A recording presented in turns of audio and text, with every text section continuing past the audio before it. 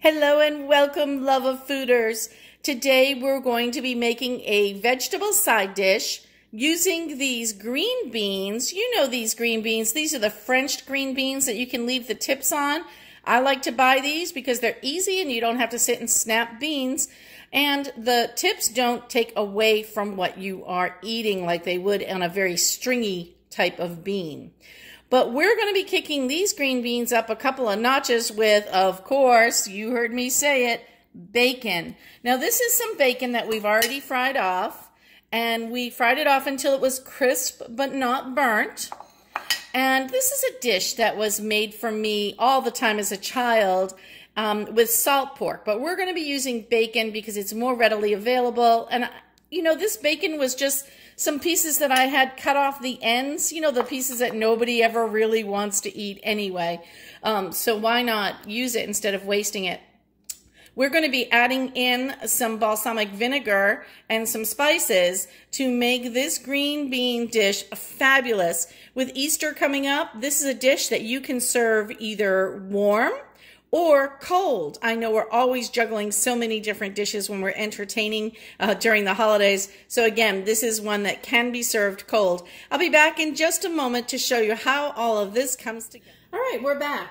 So what we've done is we nuked our beans for about three minutes in the microwave and then plunged them into this ice cold water.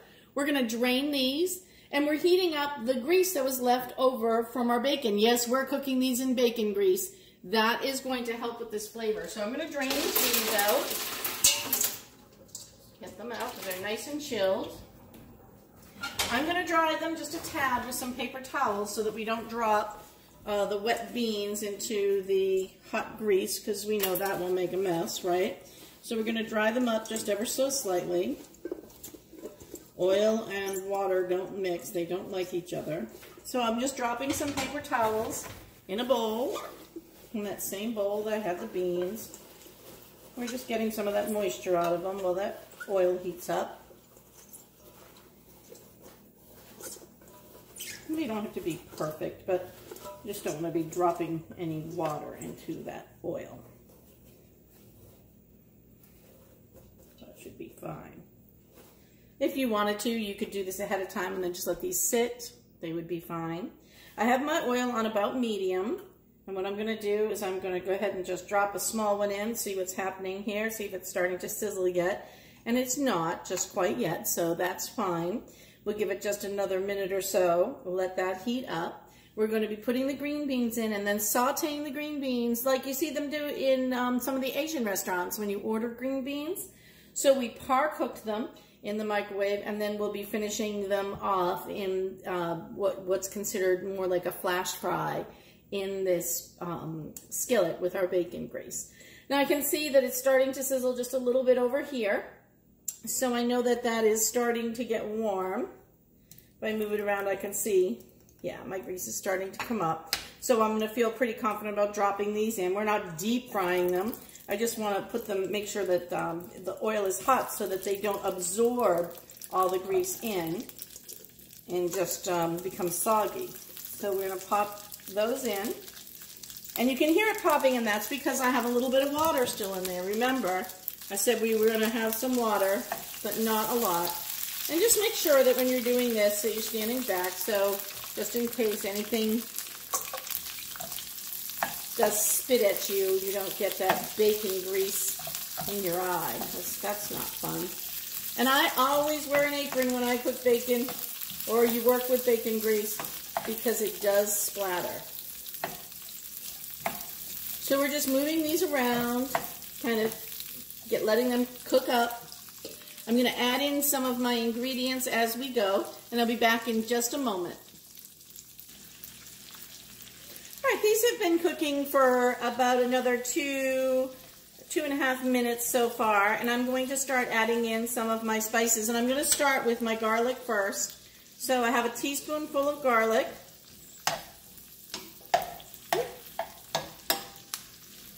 And you gotta be careful because it's still spitting a little bit. I'm going to also add in my garlic powder. And again, you all know that I don't measure, but it's going to be about a half a teaspoon.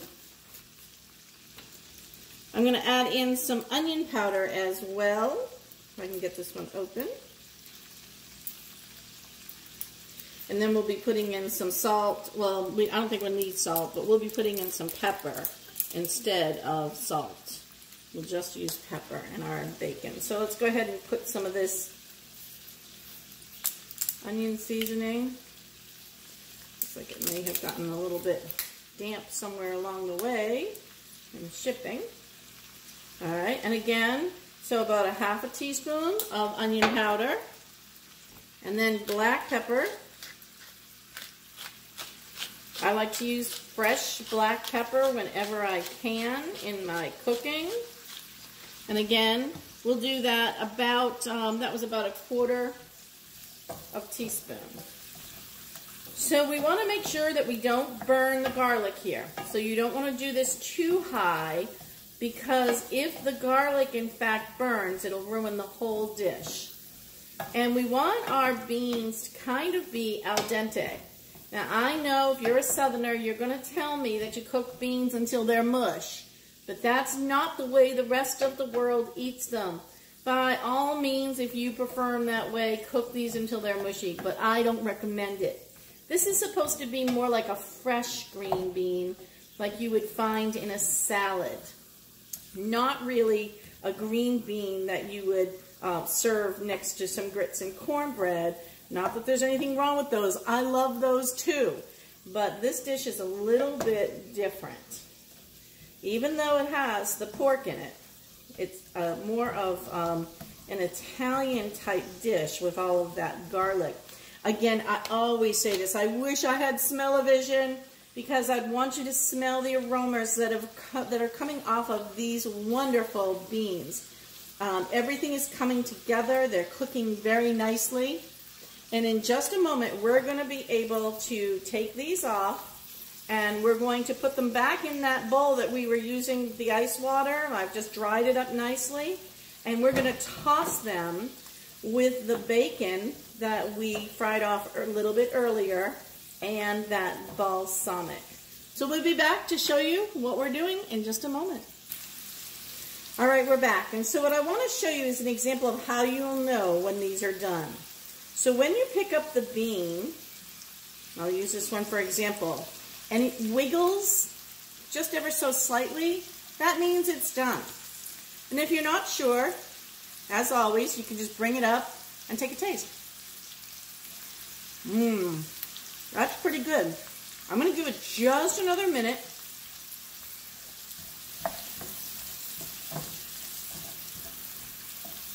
And I could use a little bit of salt, but I'm going to wait until everything is said and done to determine that. They have a nice little flavor. They're not overpowering. You're not going to be killing anybody with the garlic. But what I'm going to do is I'm going to pull these, drop them right into this pan. And you can see as I'm picking them up how they're bending just ever so slightly.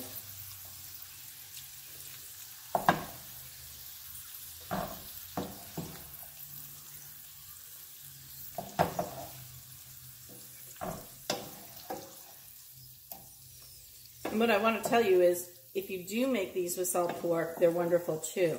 Um, just make sure you cook the salt pork really well and put it in tiny little chunks to start off with um, because that will give it more flavor. All right, what I'm going to do is I'm going to remove that from the heat. And I'm going to go ahead and add in, remember that bacon. I'm going to toss that bacon in. I'm going to toss it around.